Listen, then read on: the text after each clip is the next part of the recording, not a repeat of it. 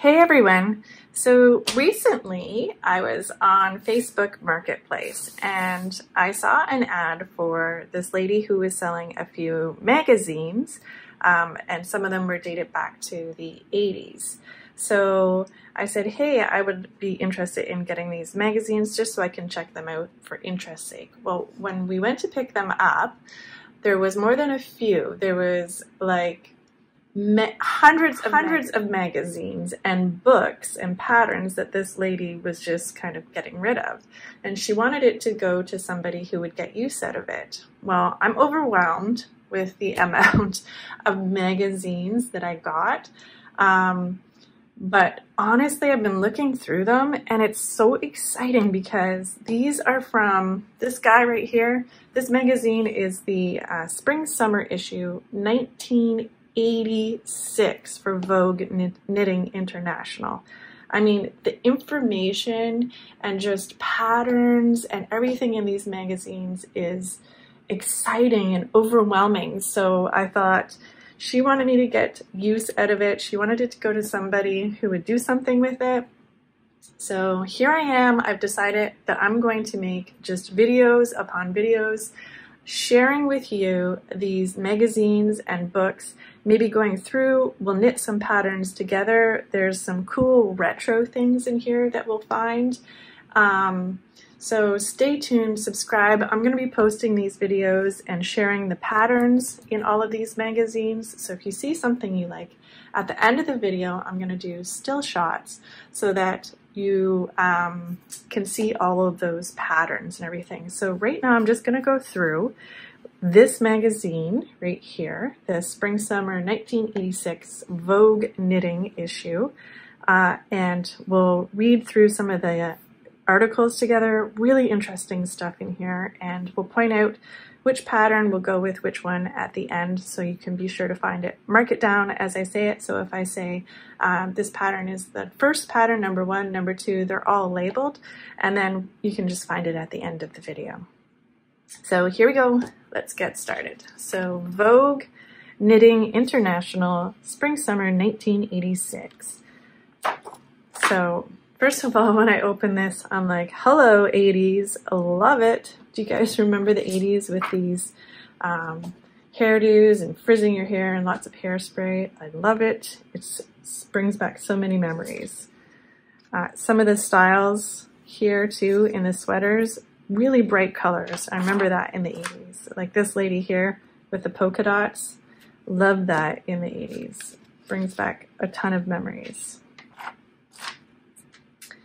Uh, so these are just some ads here for other knitting magazines or books that you can buy. This is just people uh, wrote in just talking about other things that they would like to see in other future issues.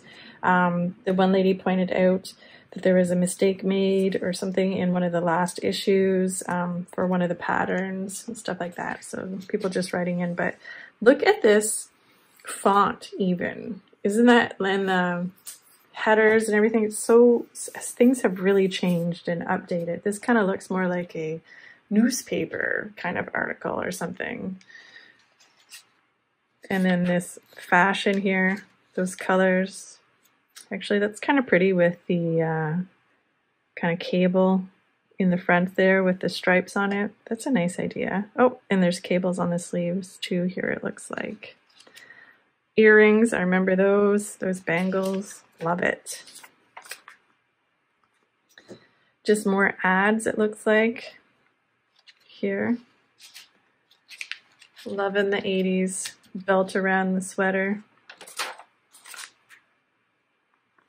Quick, cool cottons. So yeah, they talk a lot about the different yarns and everything that you can use and how to block them for the patterns at the back. Oh, I love this. Look at these. This is kind of that new um, fashion so that you wouldn't have all the puff stitches kind of, but I've seen this out right now with the, the puffs, these little balls, popcorn kind of stitches on just the sleeves. And then this here would be more of just a flat kind of surface, but that's kind of come back a little bit, those popcorn stitches into the into the more recent trends. Plaid, I mean, you can't go wrong with plaid, really, right? That's interesting. I, at first when I saw that one, I thought, is that a spill on the magazine? But no, that's actually part of the sweater that they've knit in there. So it's got a very droopy neck and then they've filled it in with this kind of splatter look. Okay, this lady's fun. Check out the coloring. Can you guys see that good on the camera? Yeah, the coloring in these, even the not so many touch-ups and stuff that they did back in the 80s or Photoshop. That's fun. Yes! Do you guys remember Walkmans? Oh my gosh, and the hat on sideways like that, that is fabulous. So I know in the front, the one lady was asking when they wrote into the editors that article about more sweaters that they could wear to work or evening, like a more dynamic. And they said that this this issue was supposedly full of sweaters that you could make for work and for the evening, and that there's really easy patterns as well for beginners um, to make up. So I think this is just advertising a certain yarn here that gives that sweater some pop. This ad I found interesting. It was about starting your own yarn and needle craft shop to become a, I guess, an owner of one of those stores. Okay, so here I've got this article marked. This article was good. I liked it. So this one here was all about increasing and decreasing according to the style. So it says that the little touches like the way you work increases and decreases make a big difference when you're aiming for a highly detailed look.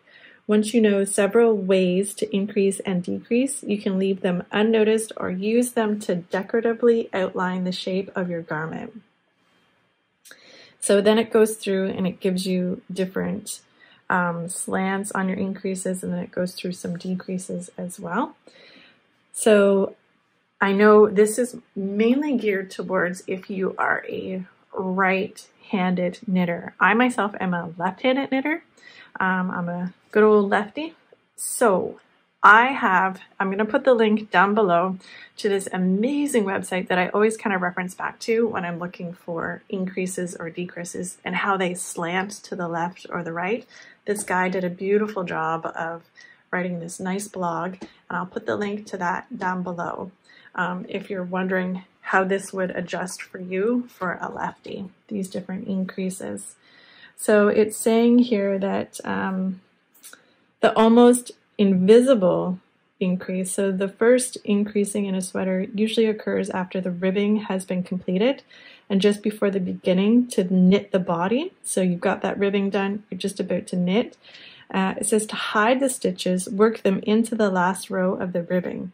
So as you rib across, just knit or purl into the front back of the stitches across the spacing or increases evenly. Or, so I've done that where you've just completed your ribbing and you want to do like an increase to make that, um, that next step up. You got to increase to make that bigger, wider out. I've done the knit front and knit back because it does do like a knit and then a rib kind of stitching, but they're saying, or you could try increasing using the make one method. So where you insert that, that needle, pull up that bar from the last row and put that onto your needle and then, and then knit that stitch into your, so you would pull it up, pass it over to the needle that you were just about to work on, and then you would knit that. So that's grabbing from the last row. So to make one stitch.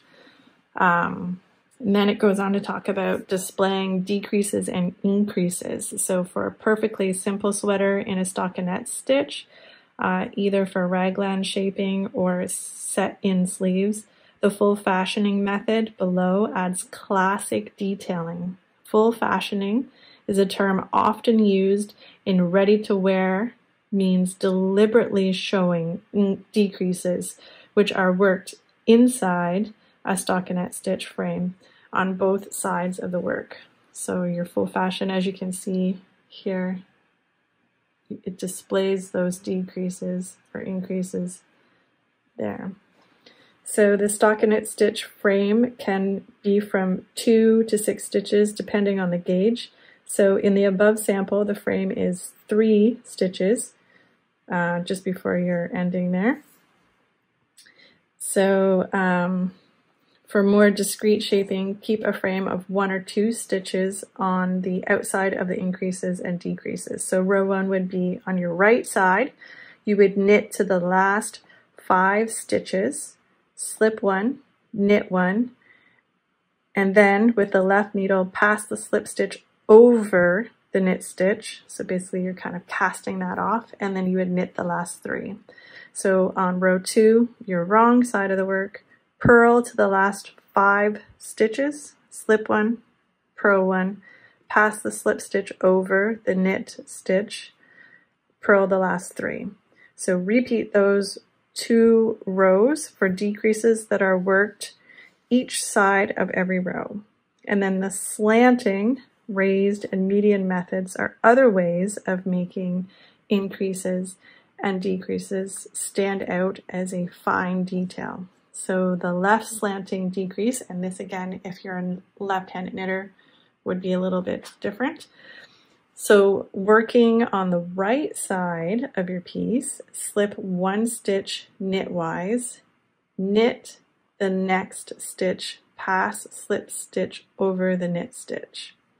Right slanting, work two stitches together by knitting two together in the regular way through the front loops. So if you want it to slant left, you do the pass the slip stitch over. If you want it to slant right, work two together. Uh, raised increases. So just like these where you can kind of see those raised up above. I think that looks kind of nice actually. So right on the right side, insert the right needle behind work into horizontal loop of the next stitch in the row below the knit one stitch into this loop and then knit the next stitch on the needle. Left side, work to the same stitch, and we just got to flip here, page 52, uh, from the outside edge on left side and knit from this stitch. Insert right needle behind work into horizontal loop of stitch just worked in the row below. Knit one stitch into this loop. Ooh, look at this one, that's pretty. Median increase. So on the right side, knit one stitch by inserting the needle into the eye of the stitch. One row below the next stitch on the needle, then knit the next stitch on the needle. That looks nice. I like that. I'm going to try that. Uh, left side, so when you're working on the left, of course this is flipped if you're a lefty. Uh, work to the same stitch from the outside edge on left, knit the stitch without slipping it from the needle, then knit one stitch in the eye of the stitch one row below the same stitch. Samples are all made by using four stitch frames on either side. Cool. So there's some uh, good information. Uh, Vogue Knitting is sharing with us. Okay, this is a pretty sweater and it's got detailing there too with the beads in it. I don't know if you can see, but on each V there's beads. So that's pretty, but it's just an advertisement. The pattern for this sweater is not in there. The pattern for this one's not in here either, I don't think. Okay, so this article talks about adding crocheted edges to your knit stuff. So it's just saying that sometimes you just want to keep it simple instead of having ribbing as an edging. Uh, so if you're wearing like just a simple sleeve, making a simple sleeve on a sweater or a short sleeve shirt or something, you just want to add that kind of simple edge, that crochet is sometimes the way to go. And then um, it talks about good points. So it says to prepare the garment um, for the crochet edges by sewing all the pieces of the garment together first. Um, one real advantage of crocheted edges is that they can be worked in rounds from the right side of the finished piece. So everything's facing you, you can see what's happening, eliminating that need to finish later. Uh, so decide which crochet hook to use, find the columns in your working techniques and abbreviations titled knitting needles and crochet hooks on page 93. Lay a ruler across both columns to find a, which hook is re relative in size to the needle you have been using. Oh, that's kind of cool. So it tells you, okay, so this knitted needle corresponds with this, and that's on page 93. Should we go find that?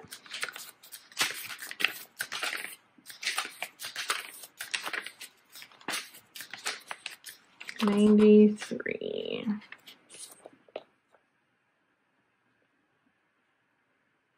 Oh, so just telling you knitting needles. So you would just put your ruler right there and say, okay, this guy's gonna line up with this hook. So a 10 millimeter uh, knitting needle is kind of equal to a 16 millimeter crochet hook. Really? Are you serious? Okay, that's shocking to me. I did not know this.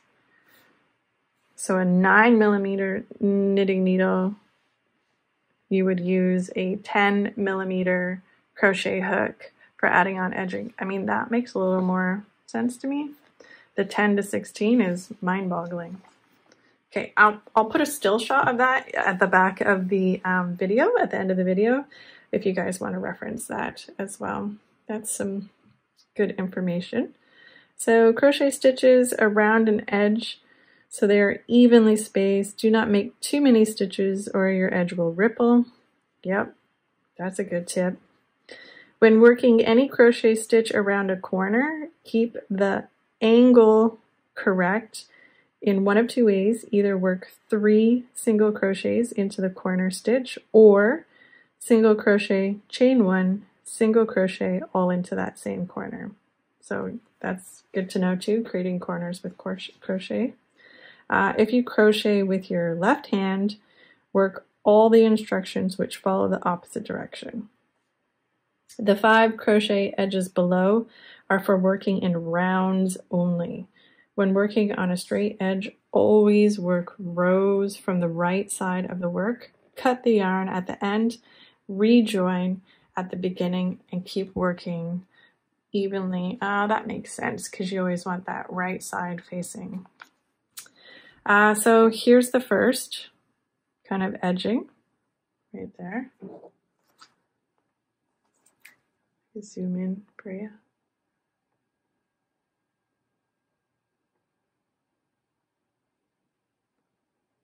So that one there they're saying is uh, slip stitch. So step one from the right side, join into the seam by pulling up a loop, chain one, insert needle, pull up another loop. So yarn over, hook, draw through two loops, one single crochet made, insert hook, into the next space and repeat from the star. Work single crochets evenly around the edge. This way you will join with the first single crochet in step two into the next single crochet under both loops, so normal, yarn over and pull through the single crochet and then do a slip stitch. So first you would make a round of single crochets and then a round of slip stitches and then Insert the hook into the back loop only and work the slip stitches in the back loops. Hmm. Cool. Uh, backwards single crochet chain one. Whoa, that's a funky. Let me zoom in on this guy for you. This one here.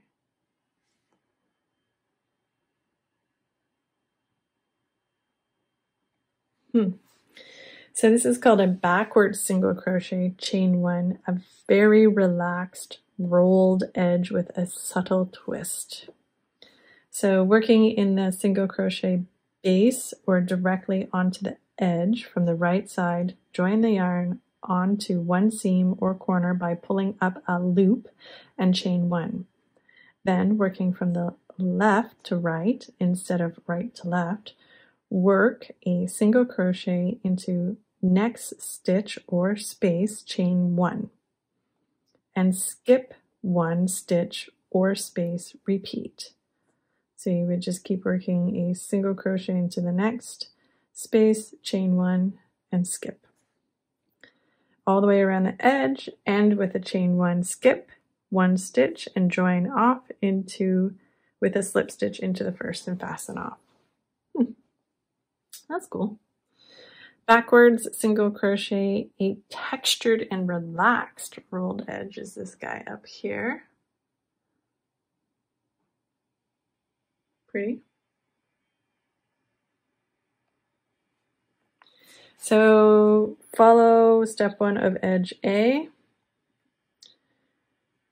So let's just work a single crochet, working from left to right instead of right to left, the usual way. Insert hook backwards into the last single crochet made. Work a single crochet into this stitch and each subsequent stitch around join with a slip stitch. That's cool. It kind of looks like a knot or something at the top, like a rolled knot. I like that one. Backwards half double crochet. So do a single crochet all the way around, working from the left to right instead of the right to left. Yarn over, hook insert backwards into the last single crochet made, yarn over and pull through single crochet, form loop, yarn over and pull through all three. So basically it's just work a half double crochet going backwards into your single crochets. Uh,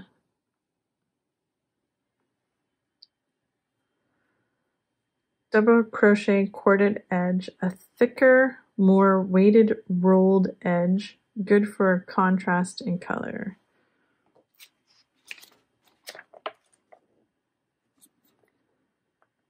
I guess that's this guy right here. So with the same color as the garment, follow step one. So do a single crochet all the way around, but chain three instead of chain one at the end. Note, if using a contrast color, pull a loop through before the chain three with the contrasting color. Ah, okay, so you want to kind of join up those colors nicely. Step two, with contrast or the same color, yarn over, hook, Insert hook into the first single crochet under both loops, yarn over, and pull through the single crochet to form a loop. You'll have three loops on the hook, yarn over hook and pull through two loops, yarn over hook and pull through two remaining loops for a double crochet. Work the double crochet into each single crochet around, join with a slip stitch. Fold edge in half. Oh, so then you take your yarn needle and you fold that edge in half to create that. Ooh, kind of cool. Neat. Learning some new techniques here that I did not know those crochet edges. Some more ads. It's funny to see the yarns that have just been around for so many decades. So this article here talks about reading charts uh, gives some really great tips. Uh, read through it. So the first tip is what do the squares mean? So all of these little squares, each one represents a stitch. What do the symbols mean? So it says in chart one and two, the symbols stand for the colors. So this is your color working. And then in this one here, it's telling you that the little um, upward facing ticks uh, is knit on the right side but purl on the wrong side and the ones that go horizontal is purl on the right side so the chart explains it there for you. Uh, what does rep mean? Many charts say rep, which means repeat, both for stitches and for rows. It means you must repeat the symbols within the lines over and over until you get to the end of the row. So that's pretty basic there for that. What's the purpose of beg, B-E-G, and end? So if working with a chart which shows a large repeat, uh, you won't always be able to use complete multiples of the repeat for the sweater size you're making. So it says, therefore, you can't simply repeat as described above. You must begin and end working in a certain point. So for example, let's say you're working with a 54 uh, stitches following a chart, making size 36 to 8, 38 inches, reading from the right to left. Work row one beginning at the first square, work the repeat line, repeat the 18 stitches within the lines twice, and then work the last two stitches beyond the repeat. On some smaller charts, the beginning and ending points are unimportant. On these charts, the repeats may have a few stitches of the pattern on each side.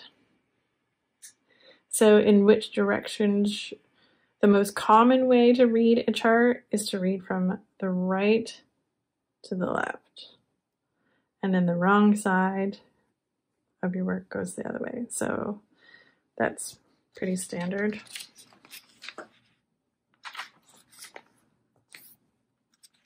I kind of like the droop in this v-neck here sweater. I love looking through things just to get ideas for things to make too, color combinations. So here they've taken a kind of retro sweater and copied it over. I believe that, oh yes, so this is a pattern here in the book. It's number 39.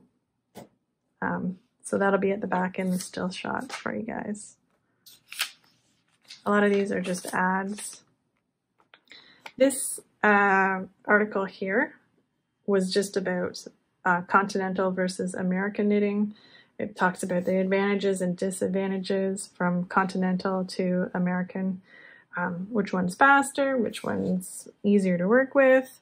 Um, but it, at the end of the article, there was a really good tip that said um, it's good to know both ways to knit, continental versus American, because uh, sometimes when you're doing that fair isle knit and you've got two different color workings that you're doing, you can hold them, one in this hand for flicking, one in this hand for just yarning over.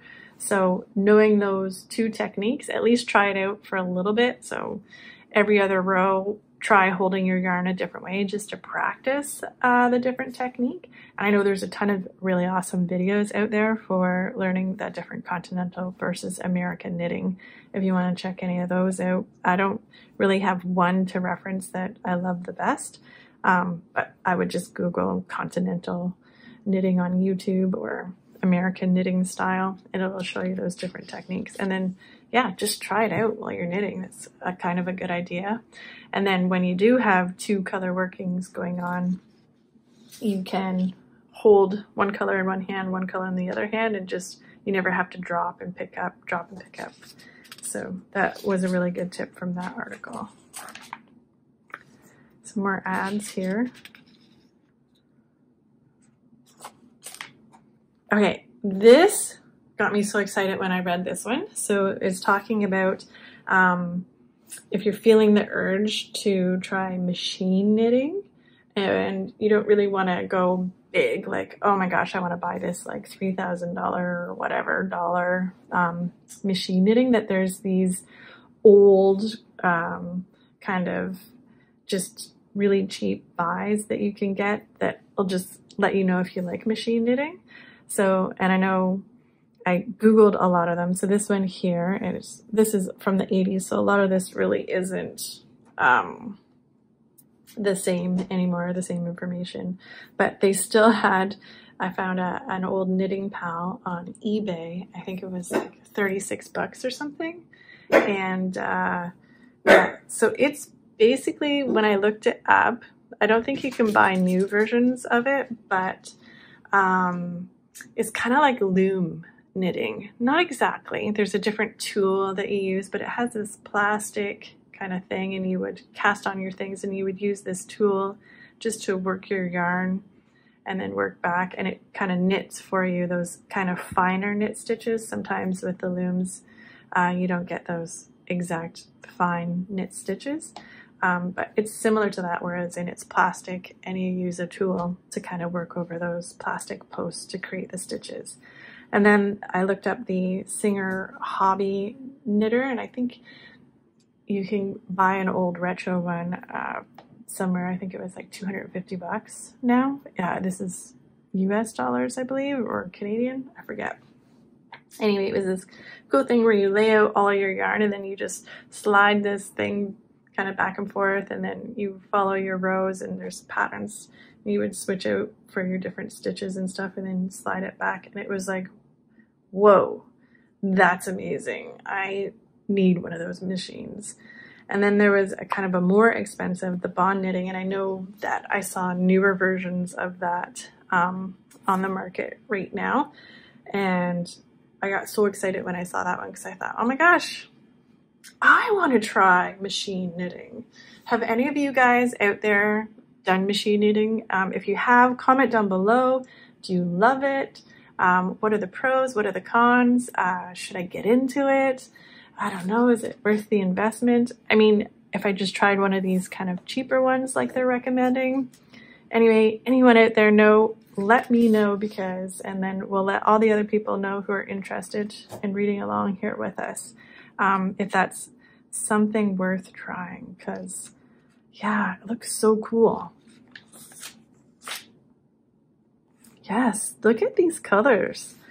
I wonder, you know how all trends, they kind of die off for a while, but then they seem to come back. I wonder, I know some neons and stuff I noticed a few years back kind of made their way back into trending. But I wonder if anything kind of crazy like these 80s colors will be back. Oh, look at this pretty, really fine ribbed um, skirt. I bet you could do that with machine knitting, right? Which is why I might need one. I don't know. Yes, I think I still have a pair of glasses like that. More uh, ads. These patterns are so funky. Love them. Okay, this article here was basically just talking about um, how knitting has been around for so many generations that it could even be possibly an ancient craft form um, dating all the way back to the Egyptians, but there's no true data really stating that, yes, that's a fact that the Egyptians used to knit. Um, they're do saying that they found, they dug up some of these older kind of things in, there in, a, in a museum, the Edinburgh Royal Museum of Antiquities. Uh, these are on display. And then they're talking about how some knits were preserved quite nicely because they were kind of the fancy knits. And a lot of knits you don't really see uh, on display anywhere, mostly because they said for a couple of reasons. Um, one, when a knit got kind of worn out or somebody outgrew it, because it's one strand, they would just pull that strand out and remake it for another article closing. So they were always um, using it over and over. Another reason that a lot of knits didn't last is because they were made from either wool or silk, and um, the moths love those materials. So they would eat away, and even these guys here that are in the museum, they said they had um, kind of spots where you could see where the moths had eaten through them. And then um, another thing that they said why knits kind of aren't really preserved from the old ancient days is because they weren't really regarded as um, like uh, treasured items. They were just kind of old. It's warm. It's what I wear to go out to work. And when I'm, it's just so used up, I just throw it away. So those are all the reasons they said you won't necessarily find too many knits um, on display around. So that's what that article was about. Interesting. It was a good read. Cabbage Patch. How many of you out there had Cabbage Patch dolls?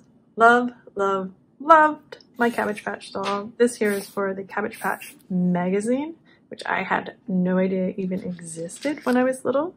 Um, but I probably would have loved a subscription to it. Hey, this looks just like my Cabbage Patch. that I had when I was younger. I had a couple.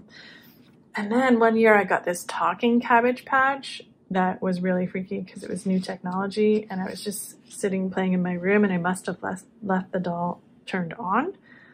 And it must have been new technology from all my older toys because all of a sudden out of nowhere it just said, hey, why is nobody playing with me? And I thought, what is going on? How is this doll talking to me? Anyway, it scared me, so I buried her at the bottom of my closet. So another comment below, how many of you guys had Cabbage Patch? I know it has nothing to do with knitting, but definitely my grandmother knit clothes for Barbies and for Cabbage Patches. That was definitely part of my childhood. Comment below if you remember stuff like that as well. Just like to get to know you guys a little better. Love to hear what you have to say. So this is just an ad, but I thought that's kind of neat. What did they make these sleeves out of? So just here on the description on the side, it's talking about how this is, is knit with ribbon. And then the sweater is knit with a special silk yarn, um, silk fibers. So I thought that's kind of a pretty idea. I wonder if you could make that more modern somehow, knitting with ribbon into your garments. More ads. I'll take my markers out here so we can see the pictures better. Oh, here it is, the Knitting Pal. So this is what it would look like here. I'll zoom in on that guy for you. That's that one that I was talking about, kind of looked like a loom down here, where you would have your little plastic pieces, and then these little tools where you would work it in to take your stitches, transfer them back and forth. That's what it looks like. That's the Knitting Pal.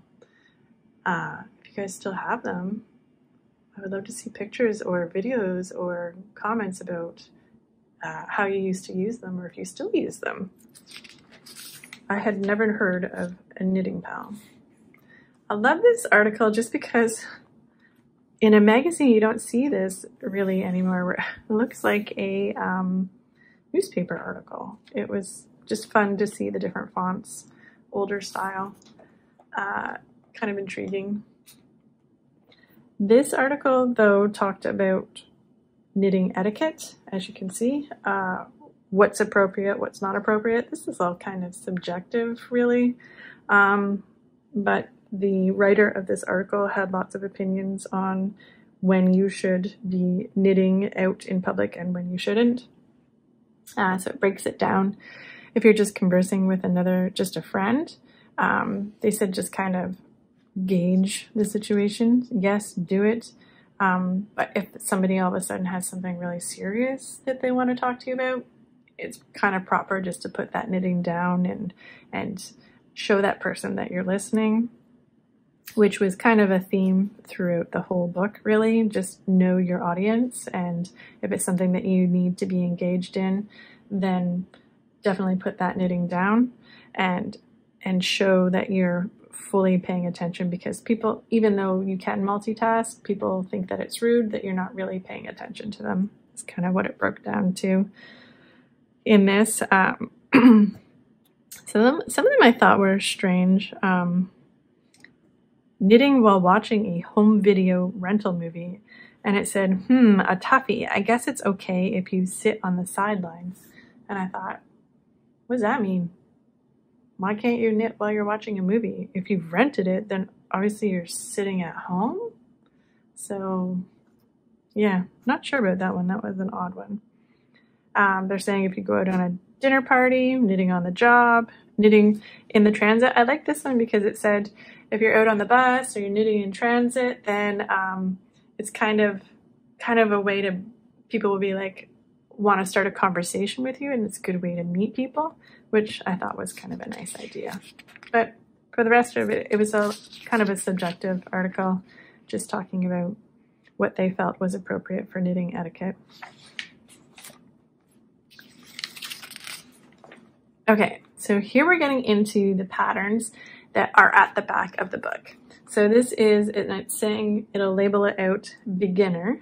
So basic, a beginner could do it, but then it's saying over here, number two, is very easy. So if you're just kind of beginning and want something that's really, really easy, or you just want kind of a easy, relaxing knit to do, kind of a mindless thing, then number two is a good one, just to chill and knit. So number one is this guy. So if you're referencing the patterns at the end of the video, you'll be working up this one. Number two, it's kind of a nice summer knit. Uh, actually, I like the back of it there. That's pretty.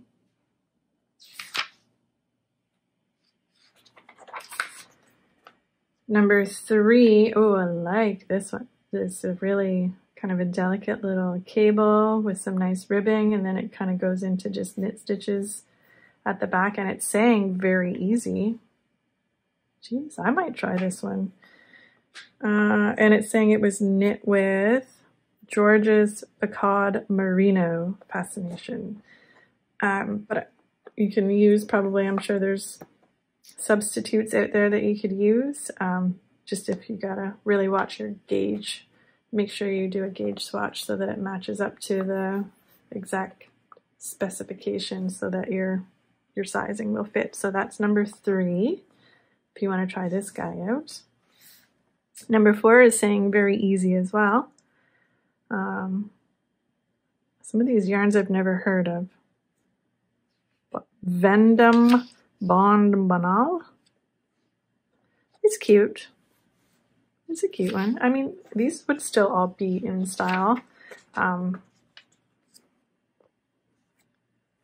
very easy, number five. And I mean, you could always adjust things too, right? If you wanted to make the front match up, but you just liked that neck or whatever. Uh, so that's number five, and it's saying very easy. Oh, here's a beginner. So not very easy, but still beginner. That's nice, kind of a turtleneck. Uh, is that a three-quarter sleeve or is that just rolled up? It looks like a three-quarter sleeve, so that's pretty.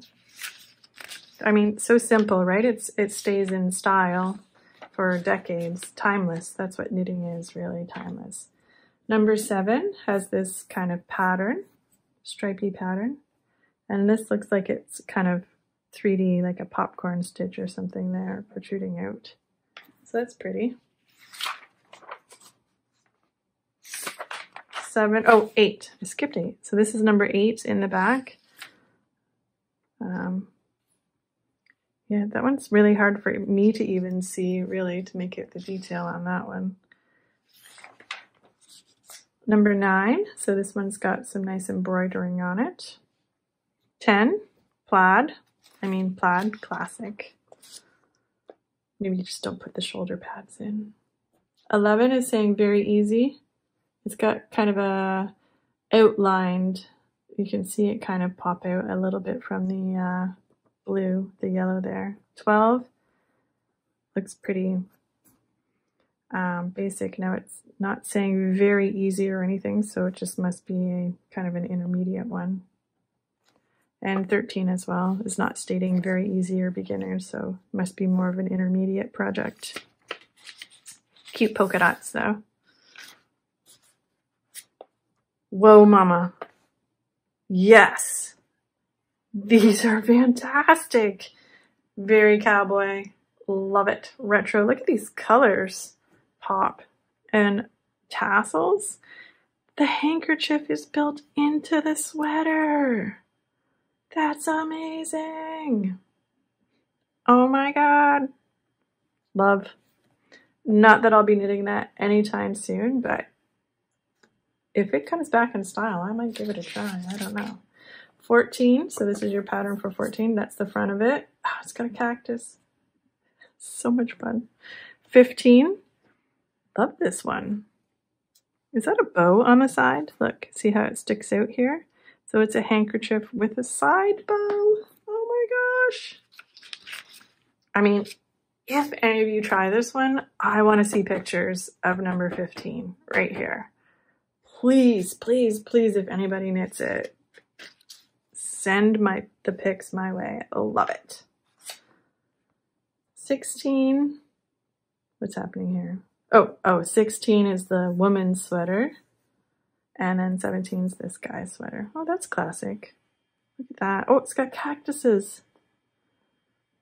I mean, that would be cool to even reference how to do the cactus repeat right there and then build that into another item of clothing. Some more tassel fabulousness going on. Oh, look at those pants. Pleather. Love it. Um, hello colors. This is summer if it ever screamed. Look at these colors. Love earrings, glasses. Okay, so this is 19 for the uh, melons, the luscious fruits and flowering. 20 is the tropical beat. 21 has a lawn chair on the beach. Oh, it's a whole beach scene. Lawn chair, umbrella, sky, sand. So bright, striped, and polka plays is 21. Cute. Oh, this must be the polka plays over here. Number 22. Look at that fabulousness. Yes. I wonder if that's going to come back into style, those polka dots. Polka dot pants to match. Uh, 23. Kind of looks like a robe for the beach. 24. Going from red hot to real cool. That's fun. Stripes with some melons and some polka dots. I mean, you got checkers, you've got polka dot, you got all the different things, components in that sweater. It's like you took all the patterns and just mashed them into one. That is fantastic. So that is number 24. Love it. 25. Oh, this is pretty. Kind of some interweave going on there. Kind of classic color. A whole outfit. Calvin Klein. Ooh. So 26, it's saying very easy, and 25 too, very easy. Um, so as promised, Fast Chic by Calvin Klein. Two that are easy to knit even easier uh, on the eyes. Ooh. So left is the, uh, so this guy here, connoisseur pullover. Um, da, da, da, and what's this one called? Oh, it doesn't really give it a name. Calvin does it. A summer superla superlative yarn. Joseph Galler opposite. So this guy. Very cool. So another well-known designer. Oh, that's pretty. Look at the artist or the kind of arrows. Funky how it kind of blends in those colors. It looks like tie-dye. Love it. This has, has some beading on it. So this one's number 27 in your patterns at the back. 28 for patterns at the back. They must show you how to put those beads on. Saying very easy. Hmm. What is happening? It's a dragon sweater. Oh, that is cool. Number 29 pattern at the back. That is fabulous. Look at claws. I mean, you could do this in different color working. Oh, okay. If anyone makes this, I want to see a picture too because that is fabulous. Uh, 30 at the back. Looks like a nice kind of evening. Could wear it out. Evening kind of sweater. You could even put some sleeves under it if it's chilly weather. Uh, yeah, so that's number 30 in your patterns at the back. 31 is this kind of longer sweater. It's pretty. It's got nice patterns. Very easy. Number 32. That's cute. I think my daughter would like that one. Ooh, 33. That's pretty. I love that neck there. That yarn's pretty too. Oh, actually they used a whole bunch of different yarn. Beautiful. So that's number 33 at the back. 34. It's got a neck, no sleeves. Oh my gosh, do you guys remember wearing the bracelets on the arm? Longer over the waist. So that's number 34. That's pretty too. I mean, some of these are still kind of classic if you just added in the, the new updated yarns or whatever. These are still totally be totally um, usable in today's fashion. 35, that's cute too. Kind of a flare out at the bottom. So 35 in the back. 36. Yeah, it's okay. I like that one too. It's got nice um, design right there. It's pretty. I mean, some of these yarns you might not be able to still get, but you could adjust. what is happening? The Royals. Number 37. Oh, look, it's even got a bow at the back with this kind of nice pattern here. Ooh, fancy. 38, like ooh la la. Check it. That is beautiful. Okay, so here is our patterns from here on out. Da, da, da, da. So I'm going to break these down. So this is just this first page that you'll see, the working the techniques. I'll um, still shot those for you guys so you can zoom in and read it or however you want to do. And then uh, instructions here. So this is like pattern number one. You see pattern number two. So when you flip back in the video, the first one, the second one. So as you can see, number two was that kind of red one with the nice back where she was wearing it over the swimsuit. So if it has a one correlating, so this is really a simple, small, condensed pattern right here, and then it goes on to two. So that's where your numbers will be. Here is three, if you can see. Uh, four, five. So I'll screenshot these, but just look for those numbers. It doesn't really say the name of the pattern on it when you uh, kind of get to it. So just as I flip through whatever I mentioned, it'll just correlate with the number at the top. Okay, well, thanks for watching. And uh, I've got a ton more magazines to go through with a ton more articles and patterns. And um, yeah, so I'm just out here sharing this with the world. If you enjoyed it, give it a like, subscribe. I'll put, be putting uh, tons more. I've got hundreds of magazines and books to go through. So thanks for chatting with me today, and I'll see you back in another video.